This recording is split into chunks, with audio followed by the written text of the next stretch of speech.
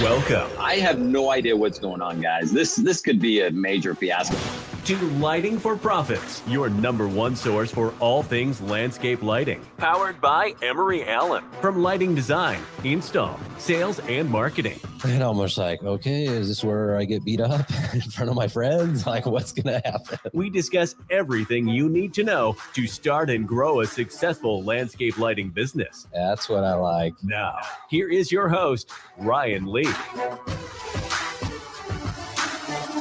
What up? What up? Welcome to the number one landscape lighting show in the world.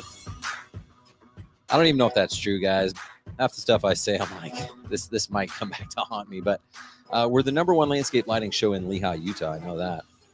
So uh, thanks for being here, guys. Appreciate your support as always. If you have not, please go and help a brother out. Go subscribe to the podcast.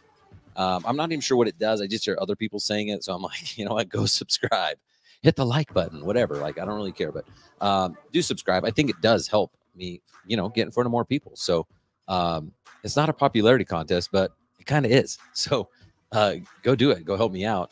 Um, and uh, we'll get the show started. So if you guys are looking to start or grow your landscape lighting business, you're definitely in the right place. Today, we are going to be joined by the one, the only Mr. Greg Matthews.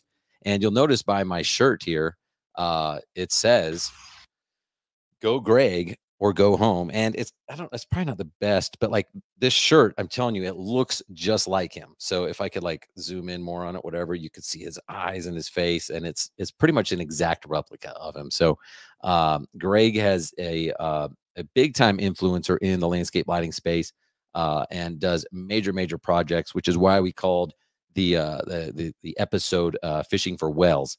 Um, he he's not here in Utah fishing for trout a lot. I mean, he he is catching the wells out there, and so we're gonna uh, hopefully hack his brain and find out exactly what he's doing, how he's doing it, um, and uh, hopefully some of you guys can take away uh, some things from that and model his success. So, like usual, we're here to educate and motivate to help you dominate. So. Um, thanks for being here, Mr. Mike Long. I think it's the real Mike Long, not sure, but uh, thanks for being here, Mike Long. Um, guys, um, we are going to continue. I, I, actually came up with another question uh, for this week's gift card giveaway. So make sure to stick around, and we're just going to basically bribe you, give away free money. All you have to do is answer the question first. In fact, Greg, who's behind the scenes right now, he's in the green room, which is not green; it's more like a, a blue, a tealish teal uh, uh, color in his office, but uh, he almost won last week. Uh, it was like one second behind uh, Ryan Jaso. So, um, but we're going to be giving that away just here in a few minutes. And um, again, Greg Matthews with Luxury Illumination. He's based out of West Palm Beach, but also has multiple locations. So we're going to talk about that, where his other locations are, how he got started, and what he's doing right now to expand. So make sure you stick around. Uh, next week, guys, next week, I'm going to be in Louisville.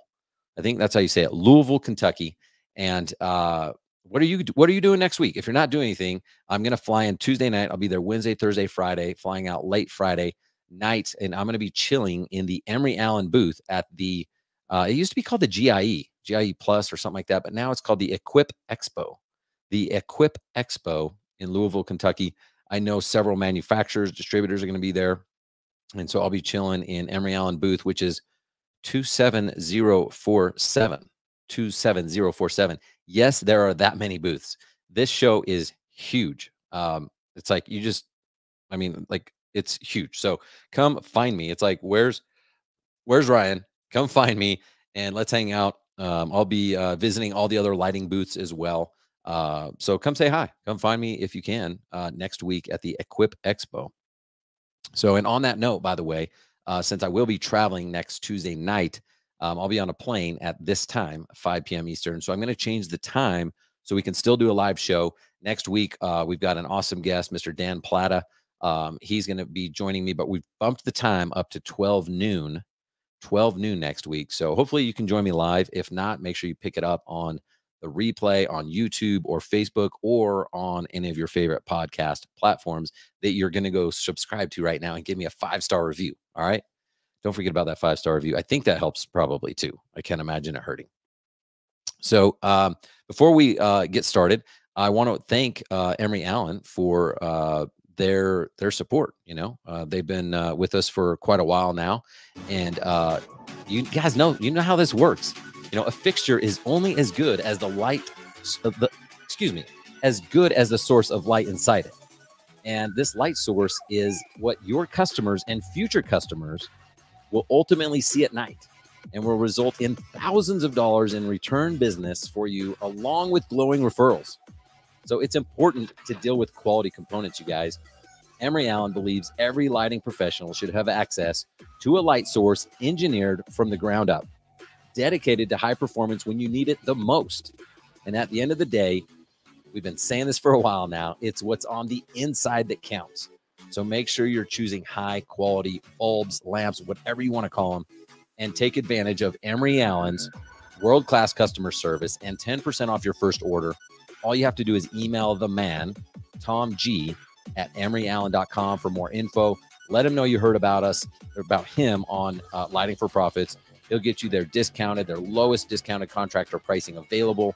Just email him, Tom G, at emeryallen.com. All right. I don't know. I just found that song. I was like, I'm just going to play in the background. Was that good, or would you rather just me read it? I don't know. Tom, are you there? Let me know. Um, all right, guys. So again, we got Greg Matthews coming up. Go Greg or go home. Which, by the way, we're going to talk about where this saying came from, where this T-shirt came from, why, like, why I'm wearing the shirt, uh, why I wear it every day. Uh, I, I didn't mean to say that out loud, but um, Greg, Greg goes big. You know, he he goes big and uh, in a, in a major way. So uh, again, you're gonna want to you're gonna want to probably not just pay attention, but take notes because he's figured out a lot of things that others have not. And uh, luckily, he's willing to come on here and uh, share a lot of those things with us. So, but before we have him on, I want to share with you real quick um, what was going to be my top five sales tips. But as you guys know, I was like, oh, I'm going to do my top five sales tips of all time, whatever. And then I was like, yeah, that's hard to do because I started writing them out. I was like, actually, I'm going to give more than that. I always like to over deliver. So I decided, you know what, we'll do top 10, top 10 sales tips. Uh, and partially because it was really hard to consolidate it down to five. And I like to over deliver. All right.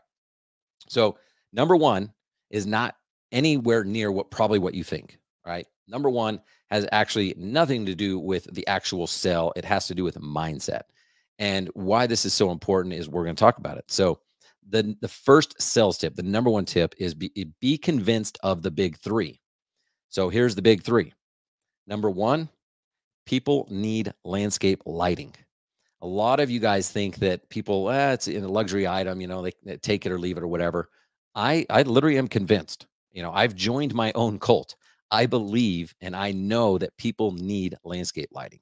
Um, why do I believe that? Is because I've had so much experience with people that regretted not having landscape lighting, whether it was for safety because someone fell and got hurt, whether it was security because their house got robbed while they were out of town and it looked dark and it looked vacant and it looked like an easy target whether it was because someone was struggling with mental health and if they would have had lighting in their backyard they could have come back and had a sanctuary to relax and rewind in i know that people need landscape lighting okay? So be convinced that people need landscape lighting. People need landscape lighting from you okay? Not from anybody else. You are the one in your area that they need landscape lighting from okay?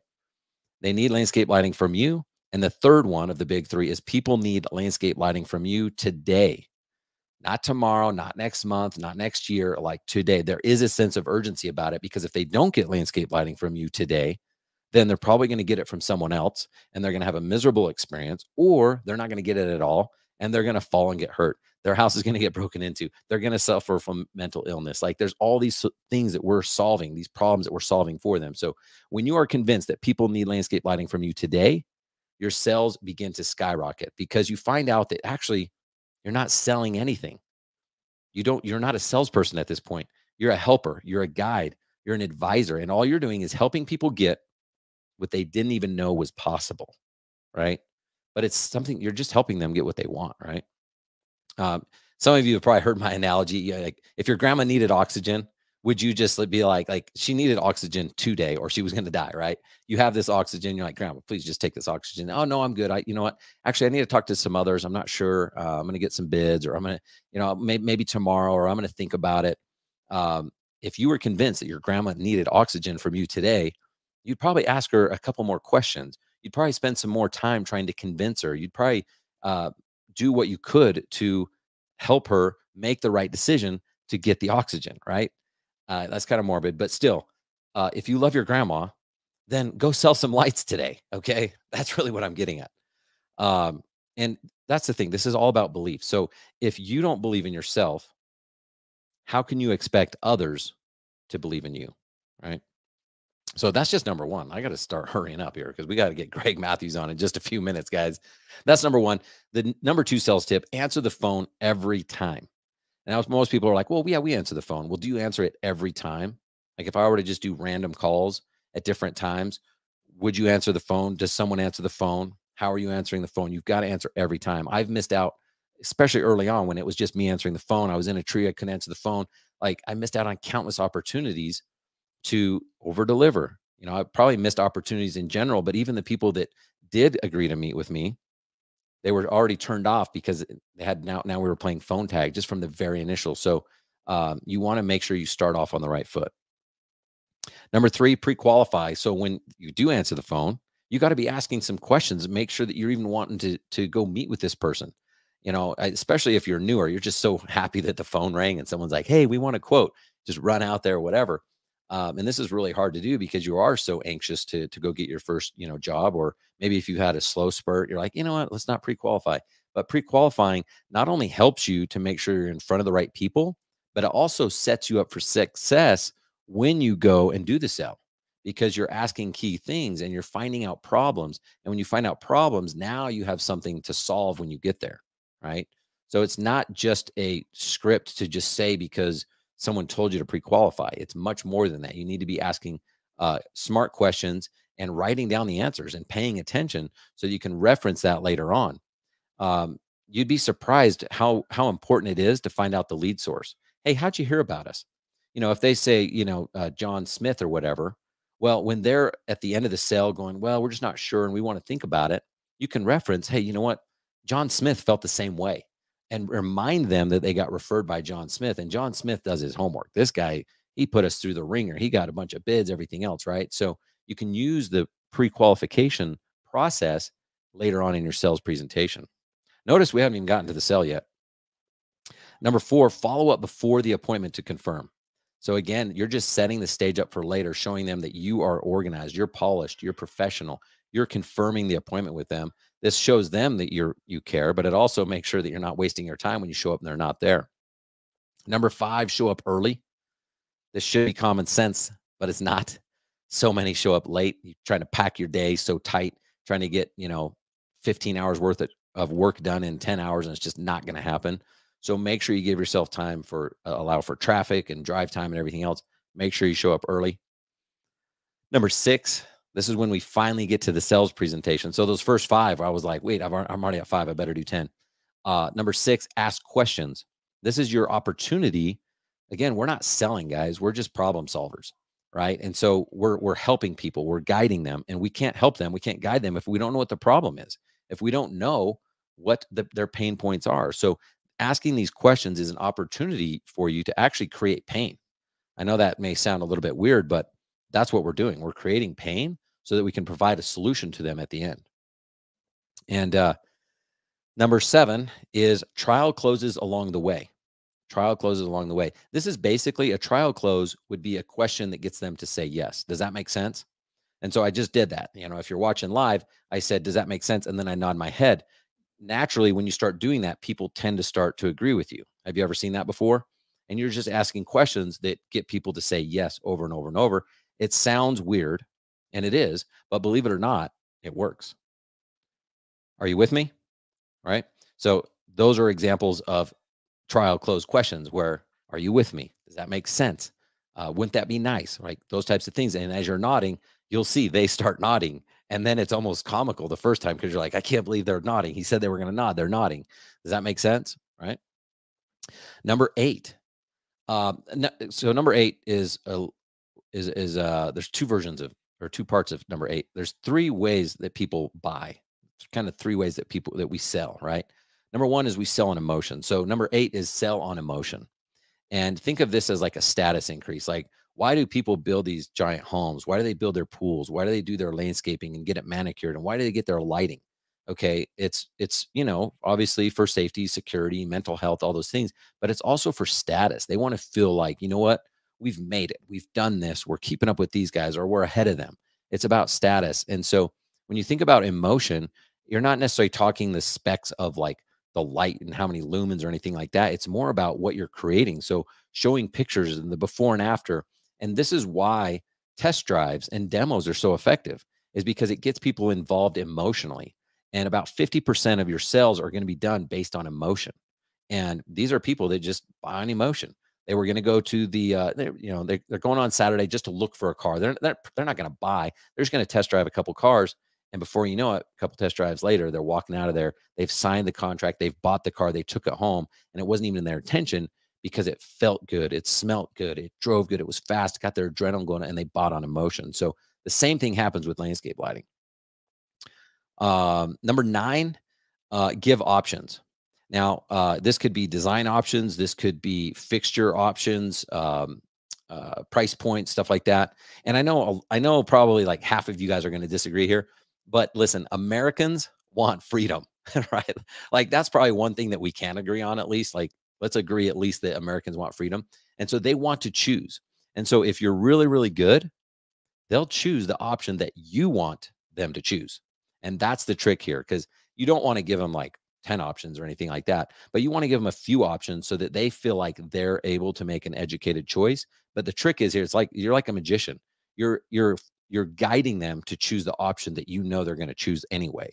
So it checks both boxes of one, I'm the professional. They're going to do what I want to do because I am a pro, but also I'm allowing them to think that it was their idea.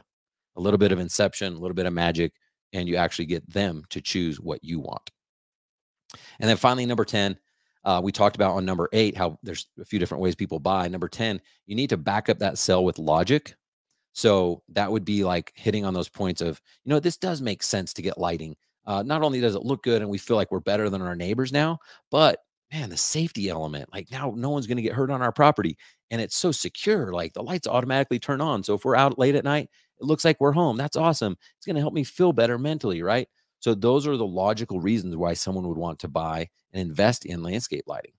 And then the fear. Fear is the third one. So it's basically emotion, logic, and fear. And fear isn't like, you know, getting a gun out or a bat or something like that and hitting it like, so you're going to make a decision. Um, it's more like scarcity and urgency.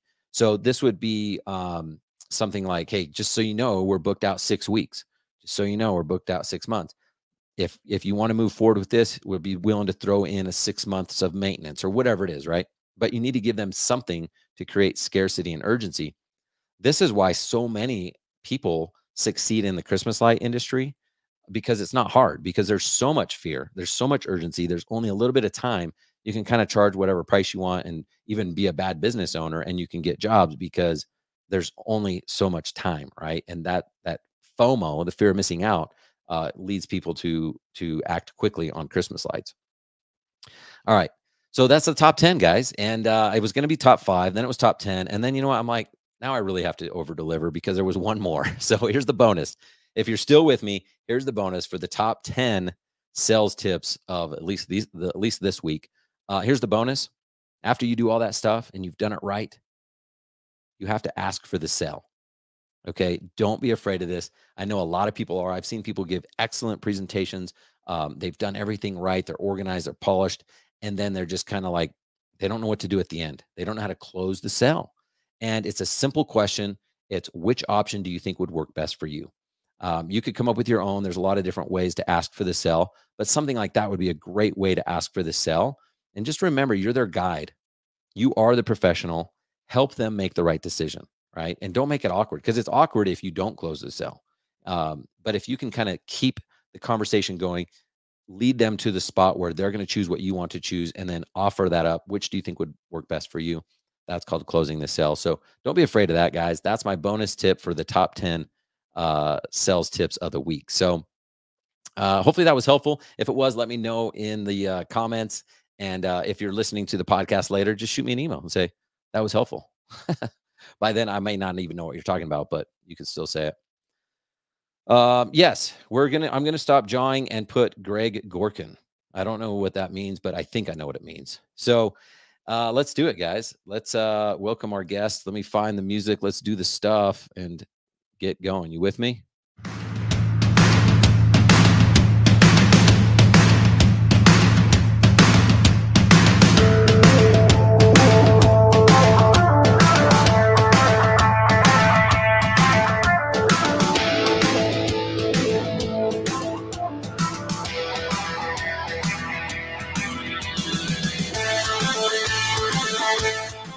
Welcome, welcome, welcome to the show, Mr. Greg Matthews. What's going on? What's up, man? Good to see you. You too. Thanks for being here, man. Um, you know, people were giving me a hard time. They're like, you know what? Get him off the show. We just we just want Greg. Greg. Yeah. Greg. Greg. I I mean, I'm kind of already there on your shirt, so you're living through me already. Yeah. It's like, dude, back off. I'm wearing a shirt that says go Greg or go home, you know? So, I was a little surprised. Like, where's the go Greg or go home shirt? So we have to give uh, full credit to Wes Jackson for the phrase, and uh, that was actually created during the opening party. So we, we get some stuff through Jackson Lighting out of uh, Texas. We you know get quite a few brands from them, and he knows how we kind of work. And at the party, he said, "Well, it's pretty much go Greg or, go home," and that's where the whole phrase came from. And then Ryan Lee was nice enough to send me a few shirts and a bobblehead as well, which now sits on my desk for the go Greg or go home. I get a kick out of it every day. Love it, man. That's awesome. Well, I mean, it was quite the party. I mean, there was pre-parties, party parties, post-parties. Um, it, it was insane. I, it's hard to believe to me. That was only this. That was in January. That was less than a year ago. Yeah, we had uh, about 160 people from almost 20 states come. So, and that was like towards the end of COVID, whateverness still. So I'm sure we would have had more, but that was a good time. I'll do it again in a few years. Yeah, that was a blast. That was my first ever landscape lighting live. It was your grand opening. We decided to kind of partner up together and do it at the same time. And uh, I don't think there was any regret on either side. That was that was quite the uh, event. Yes. We had um, so you had there was a flamethrower, uh, live band, food truck, lighting manufacturers, audio manufacturers, and uh, a lot of alcohol, as I recall. Cigar roller. Uh, we had a Cigar cigar roller. The artist forging a metal in the back. That's Um, right. Probably some other stuff that we shouldn't talk about. I have no idea. that was all the stuff that made the video and then we sent the videographer home and you know that the remains uh, that, that remains closed at this point Yes. so um i want to ask you about about life man i mean it's been a little bit since we hung out i saw you at LightFair in vegas um and uh you know we had that grand opening but how how has that new showroom been for you Uh, it's been great. Um, we're a little bit different company than most, so even having three or four clients come in and utilize it, we've had more than that, but pays for the showroom already. You know, the size projects that we do. Um, we've had a couple celebrities in here, a couple really wealthy people, designers. Actually hosted an entire landscape architectural firm here and at my house over a weekend. So that really helps them, you know, sell our designs, add more lights to their projects, makes us do the install. So that alone has paid for it. Um, and it's been great all around. And I would suggest a lot of people doing it depending on how you run your business. If you're doing night demos or something like that, that really wouldn't be a benefit to you. We don't do night demos. So all of our stuff is, you know, based on portfolio work and showing it off and looking at fixtures and that kind of stuff during the day. I like aiming lights at night, not setting them up. Yeah. Well, you're right. It's not for everybody, but when you are dealing with that higher end clientele, uh, it certainly is nice. It's worked out for you because you do have a place to bring them. And, you know, I mean, I can only imagine someone that just had a warehouse with like inventory. Like, and if someone's like, yeah, can we come by? It's like, yeah, come on by. We have a showroom. Here's some boxes of lights and here's our office and it has a computer in it, you know? Here's a toilet. Yeah. if you need to use it. And you, I, I, as I recall, I think you have a few, at least two. Yep. And we got the full, uh, they get a kick out of, we have the full uh, voice control artificial intelligence. so we can say things. His name is Josh. So it, the office name is Josh. He might turn on now, actually. Um, but he'll start doing different sequences and shows uh, based on music and lighting. So we actually bring clients into a room that's entirely dark. And I'll say we have a new guest, and all the lights will start coming on to blinding lights. Um, So in a minute and a half, I can demo the whole room without even talking. That's awesome, man. Well, I don't know if it was part of the plan back then or not, but uh, it's it's allowed you to expand. It's allowed you to grow. Um, I saw just this last week you were up in Nashville, uh, starting your third location. So, can we talk about that a minute, a little bit? yeah. So, starting locations, I get a lot of people ask me about that, and I don't know how you do it if you don't have the right people. Um, you can't just say, "Hey, I'm going to open in Albuquerque and I'm going to find somebody to run this and teach them over the phone," kind of thing. So, I really base it off of basically um, situations occurring you know, Denver is my cousin. We have the branch out there in Denver, Colorado, and he's somebody I trust, knowledgeable. He's helped us install hundreds and hundreds of lights down here in Florida. Um, we can help him with designs here. And then Nashville happened when Aiden, who it was actually his very first job, started working for me about three and a half years ago. So he's a 22 year old kid moving out to Nashville with his parents. But I'm not a very big ageist, is what I call it. You know, looking down on somebody because of their age. Because I remember when I was that age, I could do more than 35 year olds. So he has the drive, he has the ability, he knows how to install. Israel lacking is been the sales, which we don't sell things. We'll go back in a minute. Um, but that's only because he hasn't done it. So it's building his confidence in doing all that and aligning him with the right resources up there. And even just we've been up there about two weeks, so we should be getting a major rock stars home already. Um, when I landed today, we actually got notification that we are going to be approved to a 22,000 square foot house up there and another smaller house already. So that's how we kind of get into the market is trying to figure out who we're going to align ourselves with, who we can trust, who it's worth it for, and who's going to be best for the clients that we don't even have yet as well. We don't want to just take on jobs that are not going to be good for anybody. Technical difficulties. Yeah, that's awesome, man. I appreciate that. I mean, the, I love what you said that you you have to have a, a good team. You can't just be like, you know, I'm going to go open this location and I don't know how I'm going to do it. Like you already started with like these heroes, these people that could actually go do it, um, that you trust and that can actually go execute the plan. So, um, hey, by the way, if you guys, I think Olin was asking, uh, I think if you go to streamyard.com slash Facebook, then you can put in your name. Um, I noticed if you if you like are tuning in from like one of the Facebook groups, it, it it's kind of weird. It doesn't. It says Facebook user. If you go and tune in from my profile from Ryan Lee or from YouTube or something like that, you don't have to put that in. Uh, otherwise, you have to go to streamyard.com/facebook. So um, that way, your name will show up when you when you comment. So, by the way, too, guys, if you have questions, um, I've got about 450 of them. But if you have questions for Greg, uh, put them in the in the chat there, and uh, I may ask them. I may not. I may not see it. I may be like, "That's a dumb question. I'm not asking it." But you should at least try, you know? So, uh, in fact, Greg might see it and I might not want to ask it and he might just answer it. So, uh, if you want to be part of the discussion, just put that there. Um, okay. So, what? I'm a Virgo. If, anybody's oh, asking. Yeah. Yeah. Um, yeah. What, is, what does a good date night look like to you? Oh my God. Craziness. I was kidding. um, all right. So that's cool. So you're, you're two weeks from starting this new location and you've already got like a couple of like major, major opportunities. Um, so that's awesome, man. I think that's what it takes sometimes is people don't realize the amount of risk that you that goes into it. And yes, it's calculated risk, but you're still making moves seed, and that's to me a, a big differentiator between you and some of the other people out there. Yeah, I got to actually go. Uh, we ordered a brand new 4Runner for up there, so I got to spend 40 grand on a 4Runner in two weeks after it comes in as part of the initial thing. So it'll probably be an eighty thousand dollar investment just to get an option to partially do something, maybe. You know, so if it doesn't go through, then it is a big deal. Yeah. Yep. There's no guarantees in this stuff. And uh, the people that are making moves and succeeding are the ones making moves and succeeding because of that that thing called risk. Um, it's no secret that you, I mean, you do these massive jobs. Um, any any uh, that come to mind over the past year that you're like, oh man, this was fun, or this is a highlight, this was really cool. You want to talk about in the last year?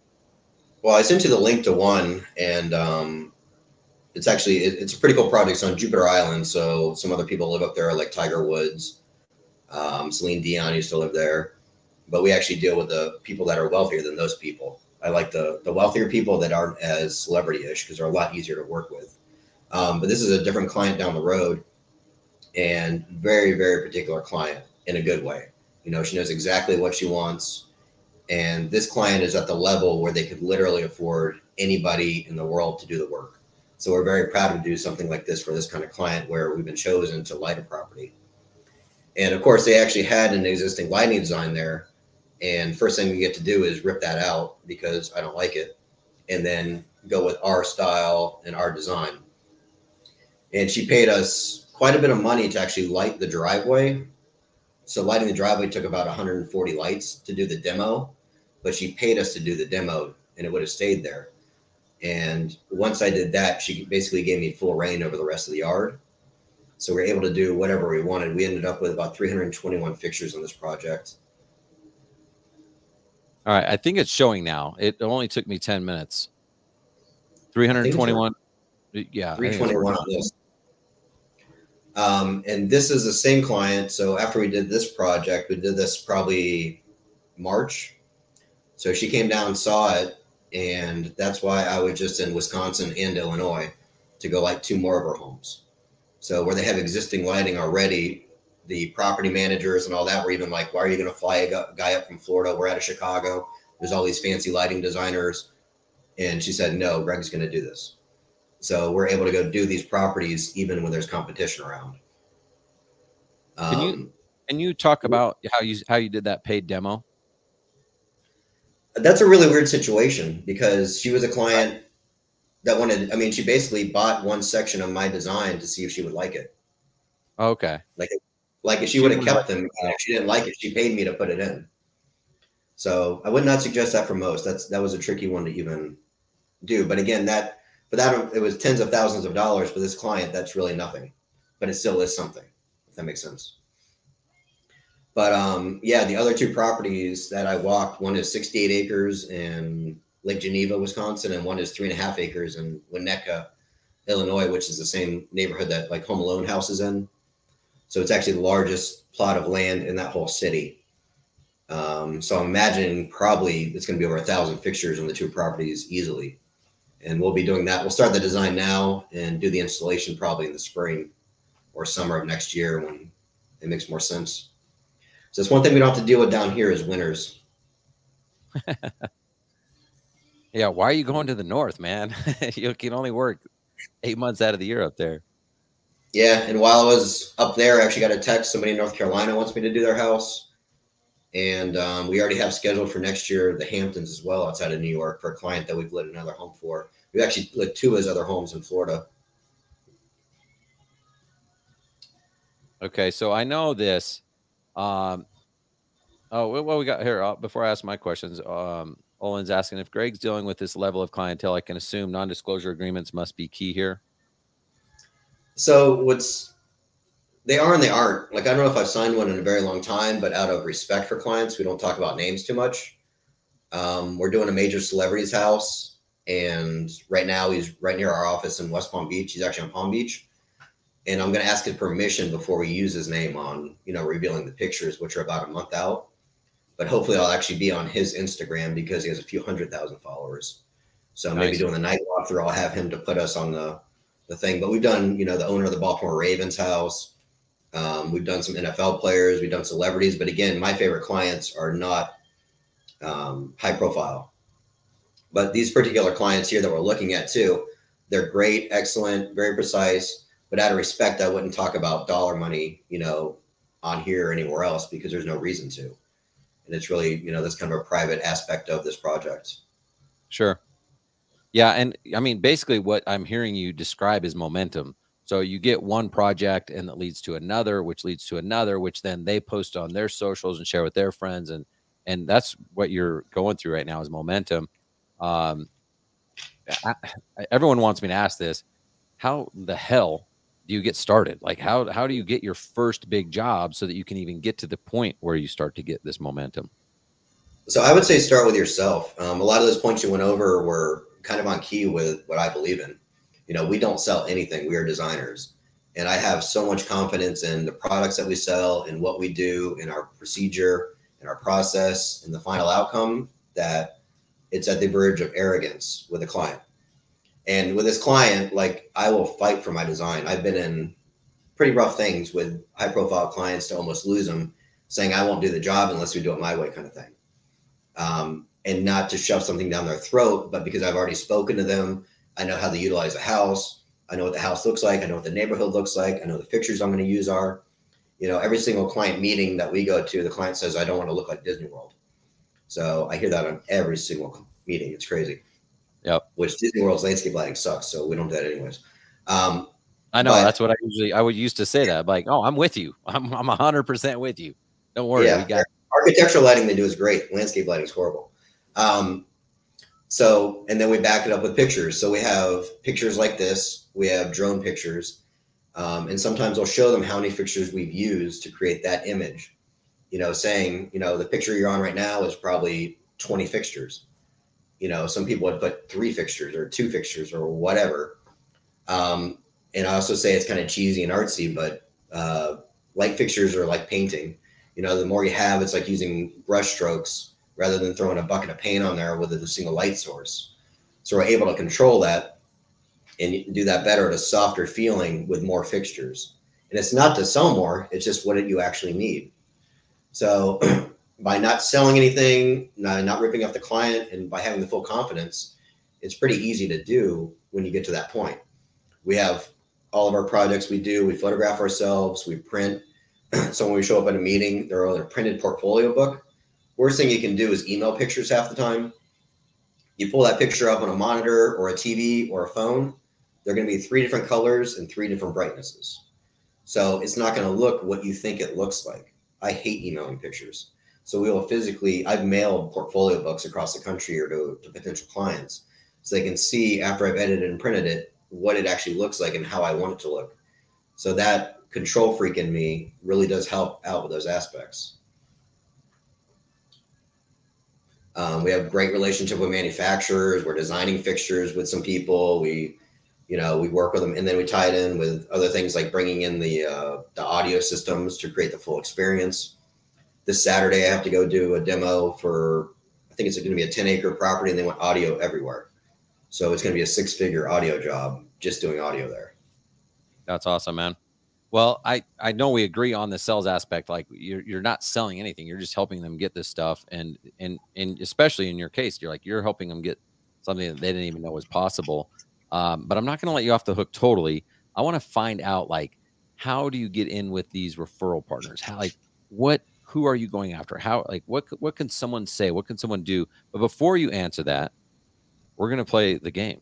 We're going to do the gift card giveaway. Are you guys ready? I think I'm ready. I don't even care if everyone's ready.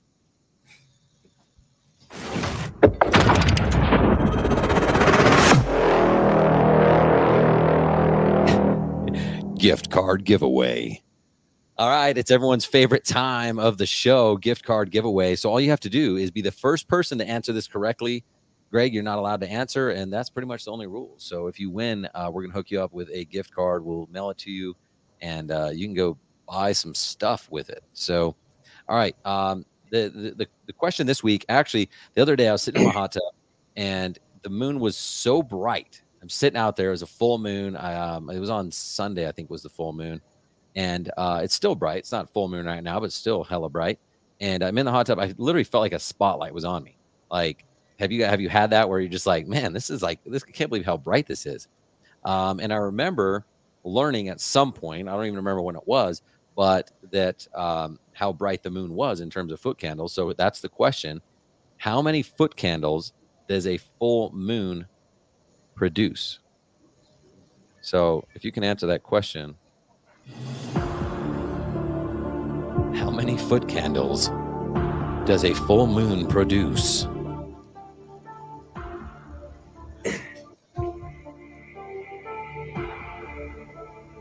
By the way, I don't even know how I'm going to. Um, I don't know how I'm going to give away this. Like, I think there's multiple correct answers depending on who you ask. So uh, let's see if we got some uh, people coming in. Uh, wh- what did I even ask? Oh, how many foot candles does a full moon produce? All right. Uh, no one has gotten it correctly. okay.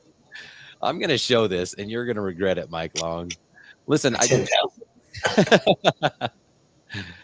just because I said the moon was bright doesn't mean it's a big number, guys. It's kind of a trick question. Um, we've got uh, 4250, we've got 20, we've got 10,000. Depends on the atmospheric conditions. Six foot candles. That's Um, closer. that's closer. I mean, I some truth in there, but um, okay. This uh, Olin, could you could you clarify your answer in terms of non decimals? I, can tell people are googling now. Um, okay, we got okay. So Wes says under point one. 0.015. We're we're getting some uh we're getting some answers now. All right, so here's the deal, guys. Um, I actually was like, I thought I knew the answer, but I was like, you know, what? I'm just gonna Google. Like we all use Google, right? So I, I Google right before the show, and I was like, what? You know, I, I think I know what it is. I had heard it was one tenth of the uh, one tenth of a foot candle. Are you with me, Greg? Have you heard that? Like, what what number would you guess? Yeah, it's about one tenth of a foot candle because that's good. They have some a lot of regulations that base it off of that.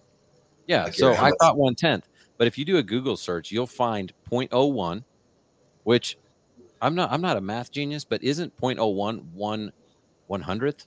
Isn't 0.1 one tenth? Yeah, I don't know. Like that's why I'm like, crap. Why am I doing this question? Because I don't even know the answer. I think it's Well- one tenth. I'm, I'm going to go based off CL the the AOLP CLVLT. I know they and if you like want to answer that question correctly, if it's even a question, I can't even remember. It's one tenth of a foot candle. So, um, we're going to give the answer to uh, Olin. Olin, you're you are the winner. Um, but I think because he put 0.01, which is like not really right. so I don't even know. So you asked him a question to give money away for that you don't know the answer to. Well, it's just that people online would say, "Oh yeah, it's one tenth of a foot candle or 0.01," and I'm like, I'm pretty sure 0.01 is not one tenth. They're not math whizzes, okay? Yeah, I know it's one tenth. The answer is one tenth, guys. So um, I don't know. I'm gonna review the scenes. I'm gonna see who posted, but I think um, I don't even know who won. I'm gonna just give away some money. I'll, I'll everyone just email me your address if you participated. All right, except Mike Long, ten thousand. That's not even close, dude. I'll be dead. All right, what is this? What did he say? Full sunlight with zenith sun produces an illuminance of about 10,000 foot candles on a horizontal surface. Full moonlight provi- provides an illuminance of about 0.02 foot candles. Yeah, that's that's true according to someone on Google, but it's not going to help you pass the CLVLT, Mike. All right, we're going to move on. Um, but here's what here's the point I want to make, and uh, yeah, I got to figure out how to like uh, come up with a winner. But most people completely overlight their projects. Now, I will say it depends on. There's a lot of different factors. Like things to consider would be other ambient light sources, so other properties nearby or existing lights or whatever. Um, what is the purpose of the area to be lit? You know, some some areas may require brighter lighting. Um, beam spread matters. I noticed in those pictures I was scrolling through, Greg, how you used that to your advantage. Like you would narrow in some uh, spots to kind of create a, a pathway with light. Um, maybe you want it softer edges for different applications to mimic the moonlight. Uh, color temperature, CRI, um, the material that you're lighting, they all affect the overall look. So just be cautious. I mean, like I said, I was just reminded I'm sitting in my hot tub. I'm like, damn, that moon is bright. And whether it's, you know, 0.01, 0.02, one tenth doesn't really matter. It's not a lot of lumens is the point that you could see like I could walk around my whole yard and not trip over anything. So anything you want to add there, Greg?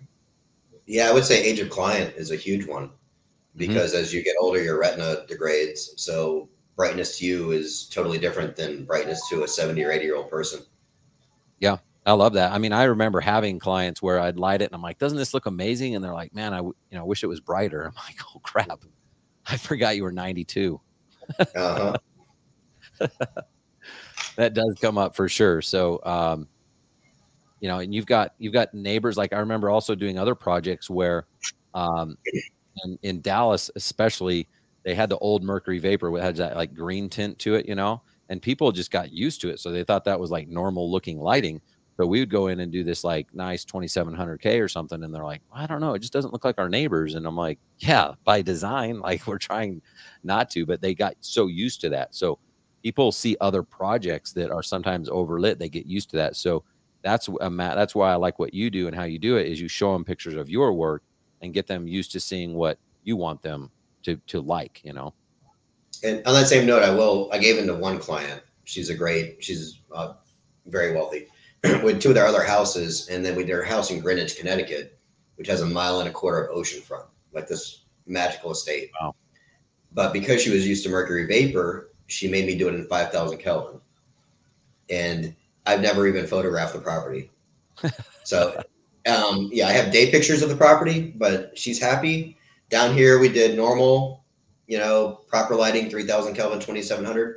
But she wanted that to be 5,000 Kelvin and after mock-ups and everything. But again, I don't even have pictures, and it's an amazing property. Yeah. Well, it's because they don't want to stand out. They want to like fit in with everyone. But then the problem is someone's going to end up doing 3K, and then they're all going to want to go go to that eventually. But it does take some time, and not everyone's that that innovative. They don't want to be the one that sticks out. So, all right, let's go back to the question. If like, what what could someone do? They're like, man, I would love to like you know get that client that leads to the next everything else but any suggestions on like how to how to form these partnerships how to how to go after these referral partners so most people we deal with who have high end clients the professionals that we deal with at least really do care the most that the client is happy in the end so i'll start back at have your stuff together you know what i mean when you're before you even meet this possible referral possible in or whatever what are you going to show them when you meet them what are you going to tell them when you meet them? Do you have an answer for every single question before they even ask it? Um, so your knowledge, your expertise, your pictures, your portfolio, what you've done will help you get into that first door. So you already have to do doors before you get to the first door. You know, it shouldn't be an easy thing because you're not going to know all the answers if you've gone the easy route. Um, and yeah, we use referral sources. We have architects, landscape architect, AV installers, landscapers, um, family representatives, other clients. Like we have this huge web of people where a lot of these out of state projects were referrals from people that we haven't done even lighting for. Somebody just knew about us. So, like a client in Indiana, um, we've done seven acres so far. We're doing the other three acres in spring. We had never done another one of their homes, but someone in Indiana knew us in profession and said, Hey, you got to get Greg up here to design this and do this. So now we're doing that house, and they happen to also buy another house down here, which is funny because a reverse phase back to our area. So their other his dad's house is going to be about 15 minutes from our office. But having all that stuff together when I flew up to a meeting and talking to him is what gets you in. Uh, we do things, you know, if you can do parties. Like I said, I had a full landscape architectural firm over here at the office. At the house, we bought them dinner, but the dinner was a small part. The big part was me showing them the showroom, walking them through fixtures you're taking people's times of a profession. Um, so you better make it worth their time. You know, they can get wined and dined and boozed anywhere else. But if they're good quality people, they want to actually get something out of it. They want their lives to be made easier. So they want to know that the client's going to be taken care of. And then we do things like allow them to use our pictures on their website, which allows their company to look better. And then the clients are happier with the final outcome of the project, which allows them to get more projects. Love it. So it's yeah, it's not hard, really. I mean, it really isn't. And it's figuring out which one of those to do it. I mean, one landscape architect we're working with now, um, it's taken me about two and a half years to get in with them. And they're finally accepting us. And they're old school. So their designs are just throw up in your mouth. They're horrible. I mean, just absolutely horrible. So now they're finally accepting more of our designs as we wean them into it. But they have keys to the castles that we don't have to yet have yet and the clients are happier with their work and they're finally seeing that. But it takes, you know, you can't just shove something down a professional throat or override them and make them look bad. You know, it has to be in a respectful way.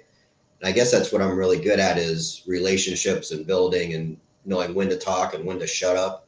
Um, you know, that's a big thing is when do you shut up sometimes? And then making other people look good through our work as well. That's very important.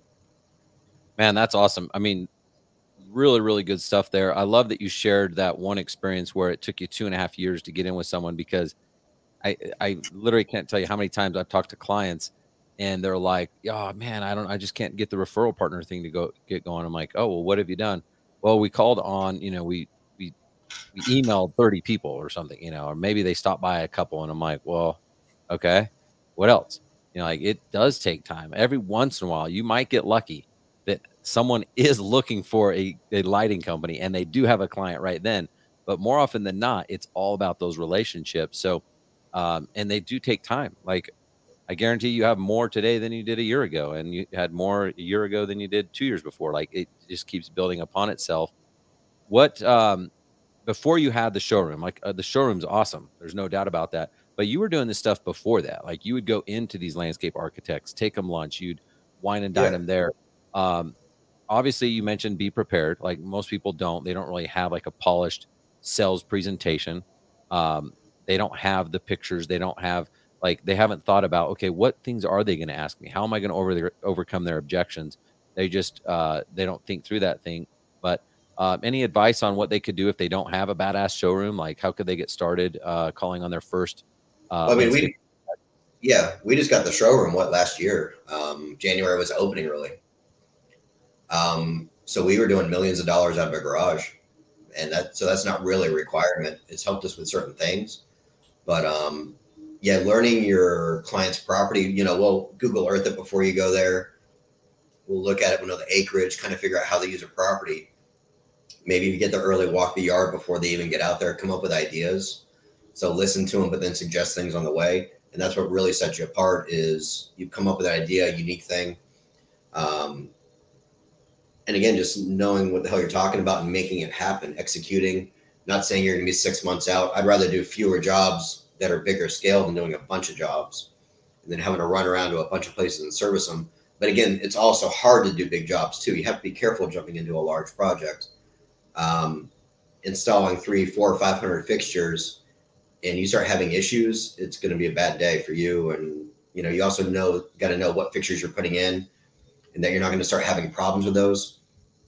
So that goes back to the products that you choose, but it's just different different business mentality than doing lots of small jobs or medium jobs. I would say a good sweet spot is going after like two to five million dollar houses for most people. You know, ours are our main clientele are between 10 and 70 million. And there's only so many of those clients. Um, but then when you're dealing that with those clients, everything has to be perfect. You can't just you know, channel through their driveway through it with a grinder and shove some caulking on top of it, kind of thing. Um, if you break a rail, it might be from 1802 and cost more than you, you know, my showroom, kind of thing. Um, you can't work all days there. You can't work all hours there. So it's a little bit different thing where you have to plan the things out. A lot of stuff we do ties into home automation control systems. So if you don't know how to talk that talk, as soon as you talk to the property manager or the electrician, you're already losing some credibility because they're getting worried that you won't, you know, you can put a light up and then how are you going to turn it on kind of thing. We don't use a lot of timers on those big properties. It's all controlled by something else. And we're not installing it, but at least we know how it works and can help them, you know, finalize the installation because it's like when you have a full TV system, you spend 20 grand on a, a DVD player, a stereo, all this. The only important part is the remote control that's in your hand and how it works. So with a lighting system, if you do it all and it doesn't work the way they want to do it, and with a bigger property may have seven, eight zones, then you may have to rewire the entire thing and you lost all credibility with that client as well. So those are other things you got to think about, talk about, suggest before you even start. Yeah, that's awesome. One tip I'll share uh, that helped me start to get into some of these referral partners was, you know, I was like, okay, I, I, I see these big jobs going on. Like, how do I get them? And I figured out, okay, it was through these relationships. Uh, but I like I would cold call some people and it would take longer than I wanted. So I just started asking my existing clients who I had a relationship with. I said, "Hey, we're really trying to do this. Uh, we're trying to grow our business. Who built the house? Who did your AV? Who did your landscape? Who did your pool?"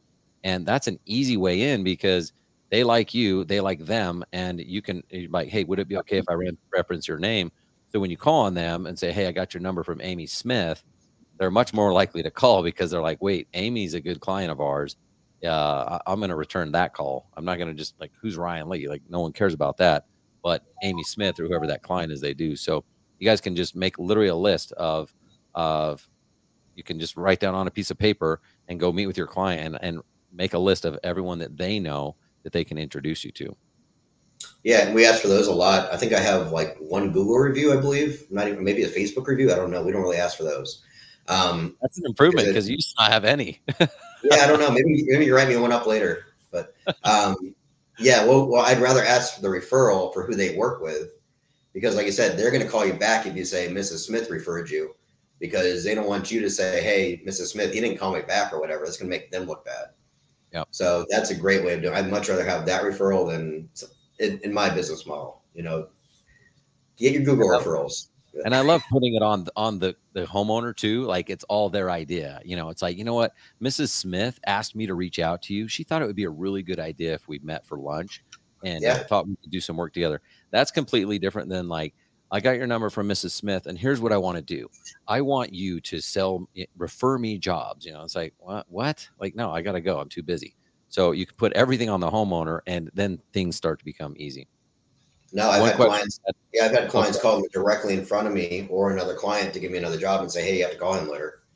So That's awesome. good.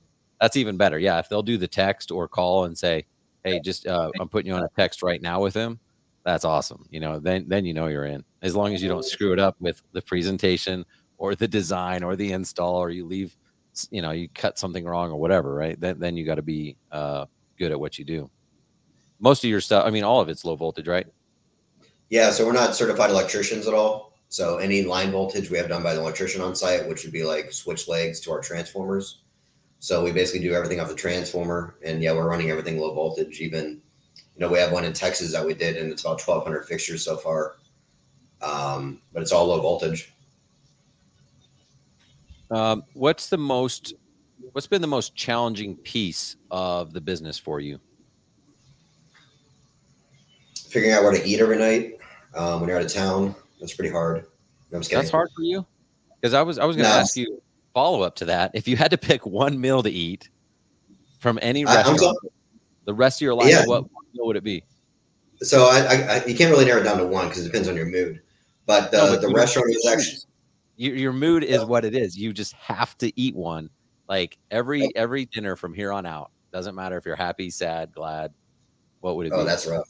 Um, so the one we had in Nashville the other night literally would be one of the top meals of my life really. because I eat I eat more A5 Kobe beef than most human beings on earth.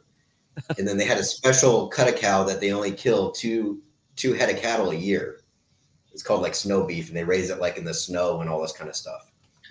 and I can't even explain the flavor. Um, it was really cheap, but um, it was just amazing. And then they they have this uh, dish up there called lobster pot pie.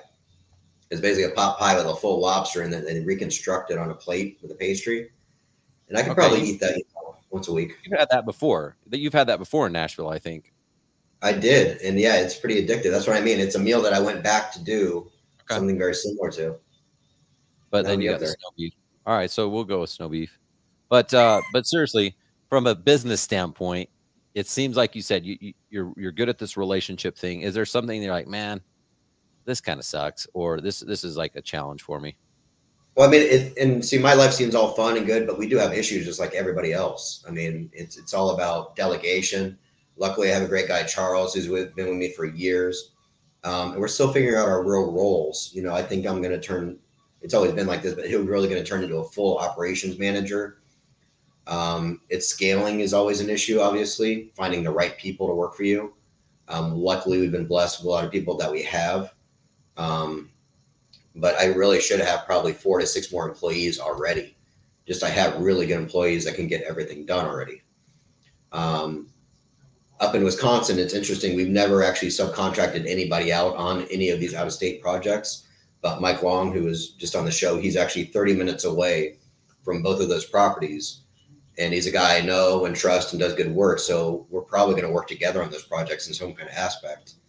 But yeah, I'd say the real real proper real problems with the business are scaling making sure the quality control is always there when you're doing so many things at so many times um, we keep our employees pretty happy in a good way but that's always a you know a good balance on how much you work them compared to how much we play kind of thing um, but i think i think it's the main issues everything else is pretty coming coming together pretty well Yeah, I mean, that's that's common problems amongst any growing business. It's just those growing pains and keeping people happy, your your clients, and especially your team members, and doing all that stuff. So, um, I appreciate you, you know, being real with us because, it, I mean, even for me, people like look at me like in a different light, and I'm like, dude, I'm a real person. Like, I I have struggles, I have crappy days, I've had shitty experiences in business. Like, th- those are all real things.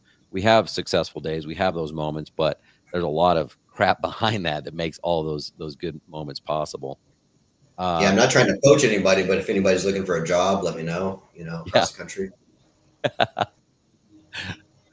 um, well, yeah, and hey, if you know, like you said, you're you're considering partnering up with Mike on this opportunity. So, um, if you guys get into a project, and I know this happens, where you're like, man, I want this to be my project. This is my, you know, hundred thousand dollar project or my one million dollar project or whatever. But if you feel like you're in over your head a little bit, just reach out to Greg and you guys can partner up on stuff. So um, don't feel like you have to go at it alone. Uh, what's the name of the restaurant in Nashville? Uh, Bourbon Steak. Bourbon Steak. I think it's actually rated one of the top 10 restaurants in the United States recently. That one. There's one in Miami too, but uh, Bourbon Steak in Nashville. It's on the top of the JW Marriott. Okay. Well, if it's on this show, it's the number one in the world. So, yeah, it is with me right now. uh, how many years under your belt installing and designing? Uh, Greg's got you got a lot of experience just owning your own business prior to this in the AV world, but uh, with lighting specifically, how much? So lighting, we started November 2015. So what is that? We're about seven years. Seven years. Yeah. And then, so, you know, we, I, again, I jump kind of full force into everything. So I'm going to be a lead mentor at Illy um, coming up next month, which is going to be cool. So if anybody's going to that, we'll see them there. But that's, that's a great thing. I would suggest um, for people really trying to become better designers. So it's a week long of 14 hour days pretty much. And half of it's classwork and half of it's field work. You get to play with hundreds of fixtures, you meet some of the best lighting designers and um, you know manufacturers and distributors and everything and they do it in different areas each year it's usually in texas because a lot of the equipment's been there but this year it's going to be in indiana but illy i think it's illiedu.org is something to really check out it's like 5000 or 6000 bucks but they really don't make much money off of that it's probably i think it's about four to five mentors per student so you're just engulfed by knowledge and if it's something I don't know or he doesn't know or she doesn't know, somebody else knows it, kind of thing. And you get to and see what other people. Mm-hmm. Who would you recommend go to that? Someone who's like brand new in the industry? Should they get a few years under their belt? Um, who, who would benefit the I, most? It depends on the person. I mean, I would um, do it earlier in my career so that I do it right to begin with. I mean, you don't want to go there and say, "Hey, what's a bullet light?" kind of thing, because it does go advanced. You might even do it a couple times, honestly. But if you really want to become a better designer and learn how to sell, learn how to design more fixtures, um, that's what you'll do. Some trees we do out there, and I've done them in real life, have 23 fixtures in an individual tree. And there was a reason for having 23 fixtures, and it's beautiful. And then when you get back, you may not sell 23 fixtures in the tree to start with, but you'll probably sell five to seven compared to two. Um, and you'll understand the differences. But yeah, I would do it if you've been doing this about six months. I would go to the course it fills up pretty quick. So that's also going to be a variable. I wouldn't wait too long. I know this one's already sold out. Um, but they're doing it twice a year, I believe. But then I would do it again as you're further in, maybe, and it's a whole different experience each time. Who's your mentor? Who's your team? They have different speakers each time. It's just a different thing where it's very hardcore. And again, you get your money's worth out of your time, which is important to me. Yeah. Yeah. Well said. I mean, it's like your point. Like if you're like, okay, I'm going to do 23 fixtures, and then you're like, crap, I, I don't know how to sell that yet, but at least they're not two. I've got seven fixtures on it. Well, then you could do a year or two of business selling seven lights on trees, which is better than everybody else in the world. And then you go back and you're like, okay, actually, we now I just saw how to do it with 36 lights on a tree or something. And then all of a sudden you elevate your game even more because you're a transformed individual. You've experienced more uh, relationships and people and stuff like that. So that's awesome, man. Um, okay, man. Well, um, I guess the only thing else I want to ask you about, I know we're going a little bit long, but um, I think this is important. It's always be, it's something that's become important for me over the years. Um, it seems like you have a pretty awesome work life balance, um, even while going through all these growing pains and everything else. Uh, what's been your key? Like, has any secrets you can share with us? Something that's helped you maintain that balance? Well, I mean, a huge shout out to my wife. Get some brownie points here, real quick. You know, while I'm at it. Erica. Um, Erica. So it's great having a very cool, awesome wife, and um, and great and, and great kids as well. Because without that, it sucks to leave, and it does suck to leave. I mean, I have great times away from, but the family doesn't get to go all the time. But then when we go back into the install in spring or summer of next year, I'll take the whole family with us, and we can do a little lake trip up in Wisconsin and that kind of stuff. Um, you know, my wife and I are going to a great concert this weekend. The kids and all, we're already planned out our Christmas vacation, which is paid for off of points that I I got the points all accumulated through uh, you know, the business. By the way, I have 109 nights earned so far with my Marriott Bonvoy account this year. So with bonuses and all, I have 109 nights this year so far, which is pretty crazy. That's Um, great. but yeah, I, I think it's really the support. It's having fun doing what you do. Um, it's having the good team here to handle while I'm gone. Like when I walked in today, I saw the family. They picked me up from the airport. I came in here. There was no fires to put out. Um, we can deal with stuff tomorrow. A few little things going on, but you know, again, great team here. We got a new office manager for a few months, and she's been doing great. She's also helping start out with designs kind of stuff to take some workload off of the other guys. And I think just really building that team slowly in a good way is one of the good ways to do it. And yeah, when we plan it out, you know, like I said, when we do travel for work, we have a lot of fun. Mike and I went to, I think we tried seven different cheese curd places in Wisconsin um, while we were up there. But then we also walked the properties, we designed, did all this. Um, so get your stuff done and then have fun afterwards. It's really not that hard. Nice. Cool, man. All right. Well, if someone wants to get in touch with you, wants to get in touch with Luxury Illumination, what's the website? What's the best way to get in touch with you? Um, so we have a couple, but easy one is Greg, G R E G, at luxuryillumination.net. Or an easier website we set up is getlitli.com. Um, and if you guys actually want to go there, I have a Flickr account too. Maybe we can post it somewhere.